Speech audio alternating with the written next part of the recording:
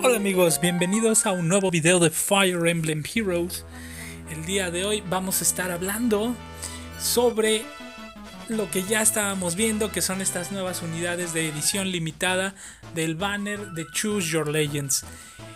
Esto paralelamente va a estar, este banner va a estar paralelamente disponible cuando esté también eh, disponible el Voting Gauntlet del respectivo bloque A y B de lo que son los héroes que estuvieron sometidos a esa votación. Vamos a revisar en este video uno por uno esas unidades. Eh, vamos a checar qué es lo que tienen conforme a la información que obtuvimos el día de ayer en lo que fue el stream de Fe, de Fire Emblem Heroes, de Fe la Búho. Y bueno, como primera unidad, nosotros pudimos ver a Lucina, The Brave Princess. El artista es Kosaki Yusuke. Y bueno, vamos a checar porque no alcanzo a ver la voz, pero eh, vamos a checar las armas. Nosotros ayer solamente de dos personajes pudimos ver en concreto lo que eran sus stats. Al parecer en nivel 40 ya. Eh, pero eh, solamente se pudieron ver los stats de Lynn y de Roy.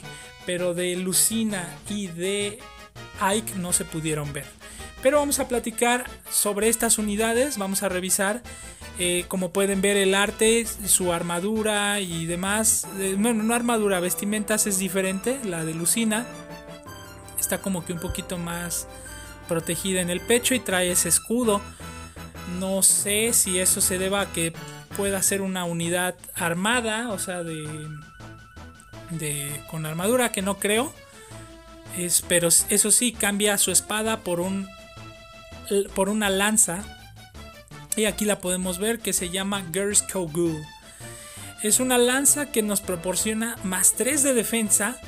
Y aparte de eso, eh, le da a las unidades que estén en dos espacios a la redonda que tengan, que sean usuarios de lanza, de espada, de hacha o de, ¿cómo se llama? De arco o daga, les da, wow, son demasiadas, cubre, cubre demasiado, o sea, aquí lo único que no está cubierto son los dragones y estas unidades que tienen tomos. Eh, pero a todas las demás, el dos pasos a la redonda les da ataque y velocidad más 3 durante el combate. Eso está súper bien. Aparte de que tiene Drive Speed 2, eh, que lo que hace es que en dos espacios a la redonda la velocidad se, se aumenta más 3 a todos los aliados. O sea que al final les estás ayudando con 6 de velocidad a los que te rodean en dos pasos a la redonda. Y aparte le subes más 3 de ataque, más 6 de velocidad y aparte a ti mismo te estás dando más 3 de defensa. Eso está excelente desde mi punto de vista. Se me hace increíble el arma, es legendaria, tiene un poder de 16. Y pues la verdad yo espero y pienso que Lucina va a tener una increíble velocidad, increíble ataque. Así que por si no les está haciendo falta hay unidades azules físicas, pues yo les recomiendo a Lucina.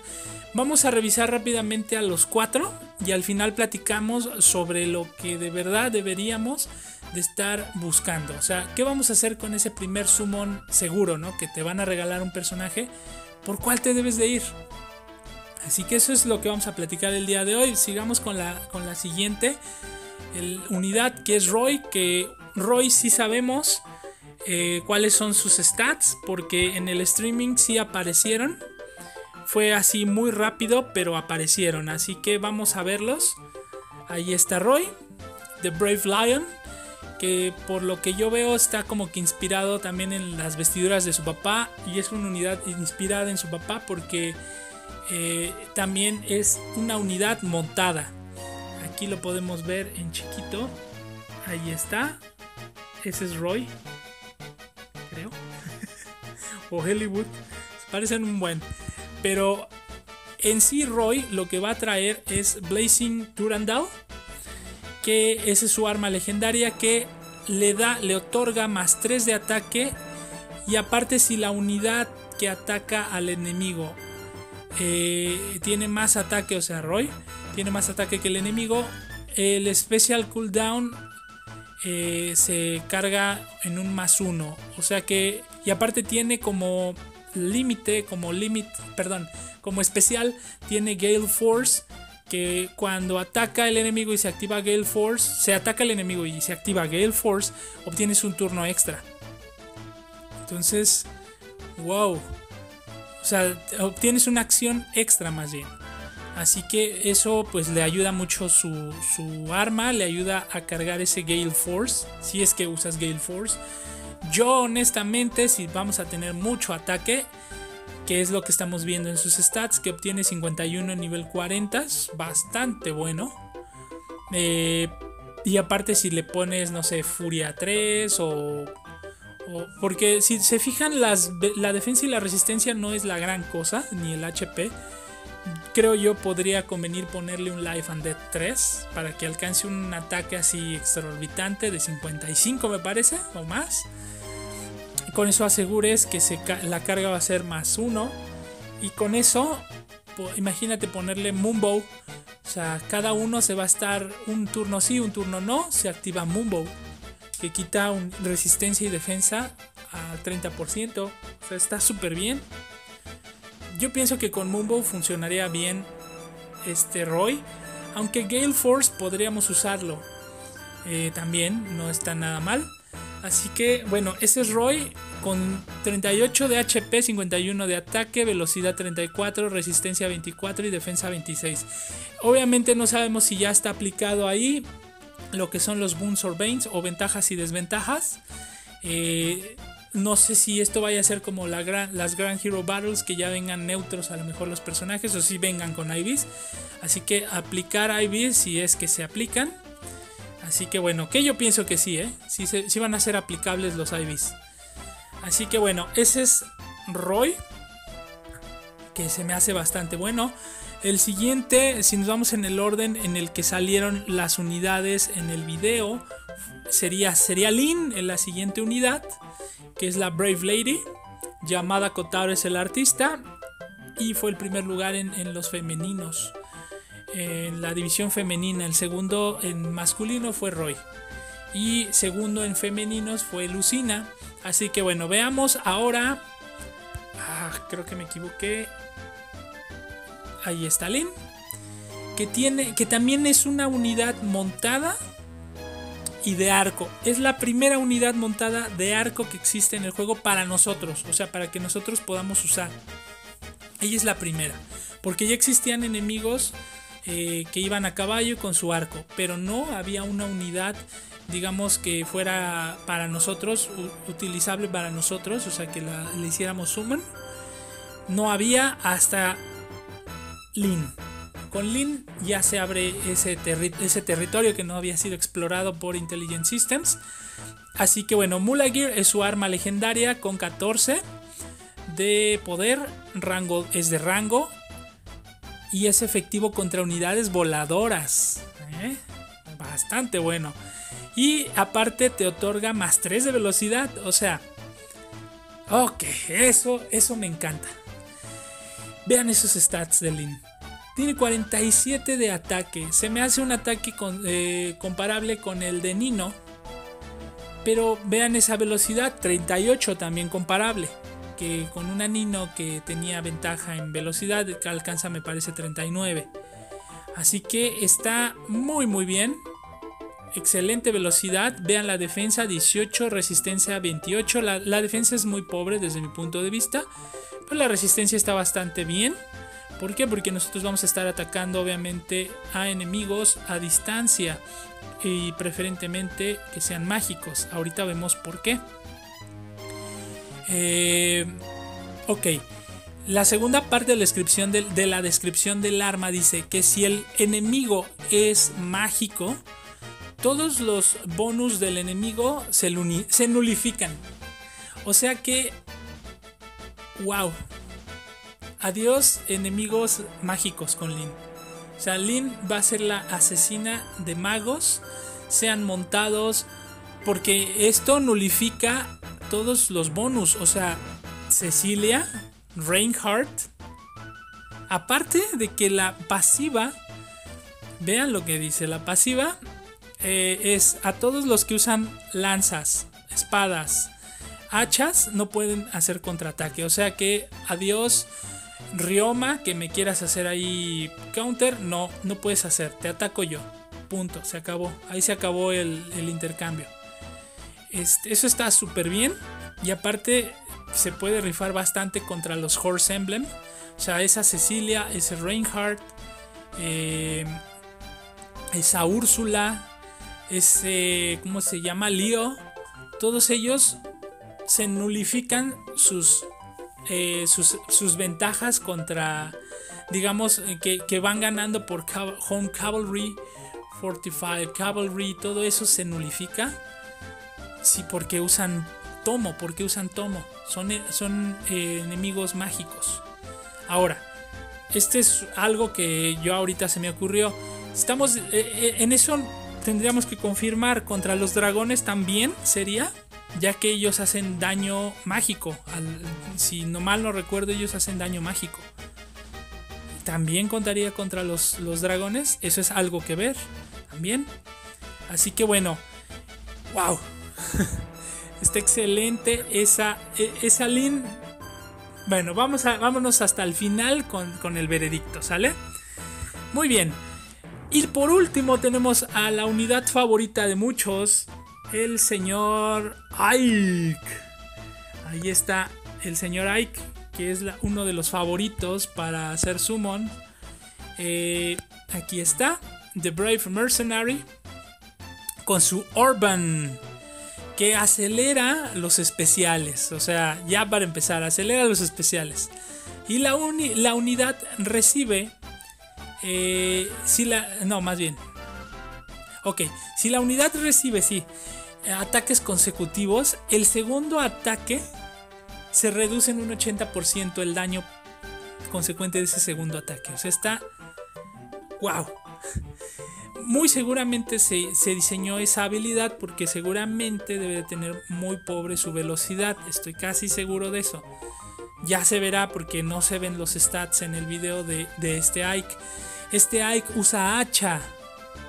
El hacha de su papá. Y, esa hacha es legendaria. 16 de ataque. Ahora pasemos a lo que sigue.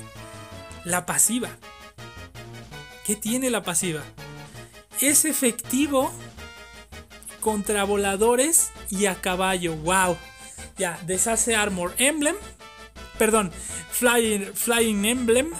Flyer Emblem. Y también deshace Horse Emblem. O sea, todos los caballos y voladores, adiós. Aparte, y todavía aparte, todos los bonus de los enemigos se, nulifican. O sea,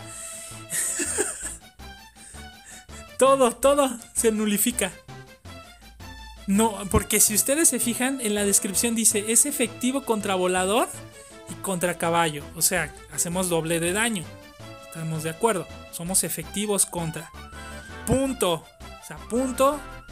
Y después de eso dice, los bonus de los enemigos. No está hablando de los bonus nada más de los voladores y de los de caballo, no. Habla, punto. Luego dice, habla sobre los enemigos. Los bonus de los enemigos son nulificados durante el combate. O sea, no nada más está hablando de unidades específicas. Está hablando en general. ¡Wow! no sé. No sé ustedes, pero a mí eso se me hizo muy OP. Obviamente este Ike se me hizo muy OP. Habrá que ver los stats. Eso es lo único que hay que ver. Se me hizo muy bueno Ike. Y bueno, ahora pasemos al veredicto. ¿Cuál es el veredicto para mí? Desde mi punto de vista, Lin sería la unidad que yo estaría buscando en el, digamos, eh, al momento de escoger la unidad. ¿Por qué? Honestamente, yo tengo eh, mi equipo de Horse Emblem de caballitos. Eh, yo lo tengo bien. ¿Por qué? Porque tengo ya a Camus, 5 estrellas. Reinhardt, 5 estrellas. Todos tienen buenos IVs. Bueno, Reinhardt tiene buenos IVs. Camus es neutro, obviamente, porque es de Grand Hero Battle. Tengo a Cecilia con buenos eh, IVs. En 5 estrellas también. Tengo, tengo a. ¿Cómo se llama? Ay. Tengo a Clarice en 4 estrellas, pero muy bien construida. tiene más 2. No sé si la estaré subiendo a 5 estrellas. O sea, tengo varias unidades a caballo que pues, conforman un muy buen equipo, que de hecho es mi mejor equipo de Fire Emblem Heroes. Y ahora imagínense añadir a Lin en ese equipo, ¿no? Imagínense añadir a, Link con sus habilidades que no la pueden contraatacar. Que aparte les añade un más 3 a los compañeros de velocidad. O sea, para que dobleten los que les haga falta por ahí velocidad. Eh, etcétera. O sea, Link se me hace bastante rescatable. Y se me hace la mejor unidad. Aparte de que es muy efectiva contra los enemigos mágicos. Eso se me hace incluso muchísimo mejor. Me hace muy muy bueno. Y nulifica aparte los bonus de los enemigos. Pero por lo que yo estoy entendiendo, aquí, eh, si ustedes se fijan en la descripción, los, los bonus de los enemigos se nulifican. Coma. O sea, foe is a magic user foes bonuses, o sea, los enemigos mágicos, nada más contra los enemigos mágicos sirve para nulificar sus, eh, sus bonus. O sea, ella sería muy buena para nulificar los efectos de todos los. Pues de. Ahora sí que de todo lo que es Horse Emblem. Porque si se fijan, Horse Emblem se usa mucho con Camus, con Cecilia y con Reinhardt. Que ya son dos mágicos ahí. Y como opción se usa a Leo, que es un tomo rojo. Ya se nulifica a todos menos a Camus. O se usa Úrsula, que también es un tomo. También se nulifican sus, sus bonus, sus buffs.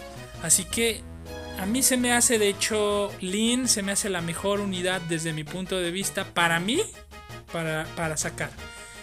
Eh, yo estaría haciendo pulls para sacarla a ella. Digamos, estaría sacándola a ella, para, digamos, para que me salga luego. luego. ese sería mi regalo para mí. De parte de Nintendo y de Intelligent Systems. Lin a caballo, unidad de edición limitada. Y desde mi punto de vista, yo estaría haciendo pulls para sacar a Roy. ¿Por qué?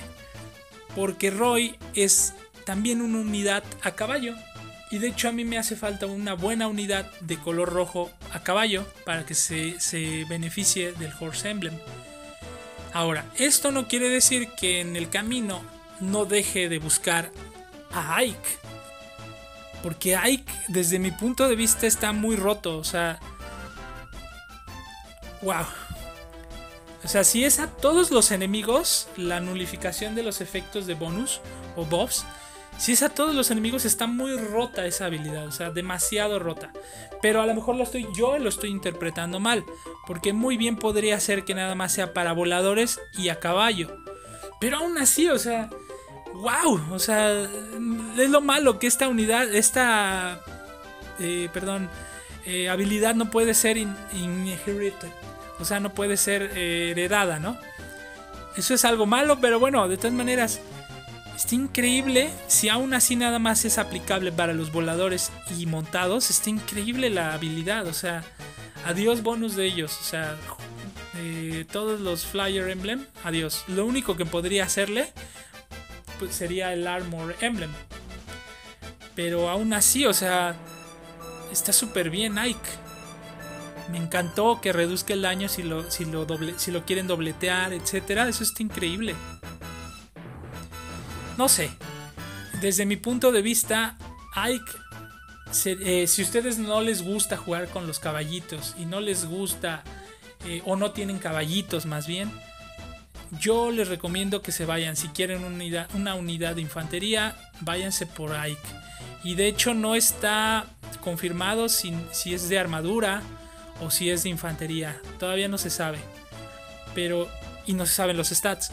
Pero aún así, al juzgar por sus habilidades y su arma, Ike está muy, muy roto, ¿eh? De hecho, yo estaría entre Roy y Ike, buscando entre Roy y Ike. No estaría buscando azules.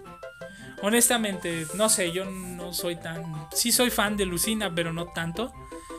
Y Lucina me gustaron los buffs que hace, pero se me hace la unidad menos deseable para mí en este banner. La mejor, como ya lo dijimos, desde mi punto de vista, la mejor es Lin. La segunda es Roy, por el aplicable a mí, ¿eh? porque yo tengo el equipo de caballitos. Para mí el tercero es Ike y el cuarto es Lucina. Obviamente que si no tuviera yo caballitos, no tuviera Horse Emblem, me iría primariamente por, por, este Ike. Si ustedes no les gusta y no quieren Horse Emblem, Ike, váyanse por Ike. Verdes, hagan verdes. ¿Sale? Y bueno, este es el análisis, mis análisis rápidos, ¿no? Como siempre digo, de estas unidades que están increíbles, me encantaron, estoy hypeado. Aparte de que es gratis el primer, o sea, es gratis y seguro que sacas uno de 5 estrellas y aparte lo escoges. Pues eso está increíble, eso me encantó. Pero bueno, yo los dejo con este video amigos, cuídense mucho, tomen en cuenta estos, esta rápida, rápida, entre comillas, revisión. sí hay que ser fan de ciertos personajes, pero vean más, porque si son free to play, vean más por la utilidad que pueden obtener de dichos personajes. O sea, si pueden obtener de ellos ventaja al sacarlos, mejor váyanse por, por, por esos personajes. Pero bueno, cuídense mucho amigos, nos vemos en el siguiente video. Cuídense, saludos, que estén bien. Bye.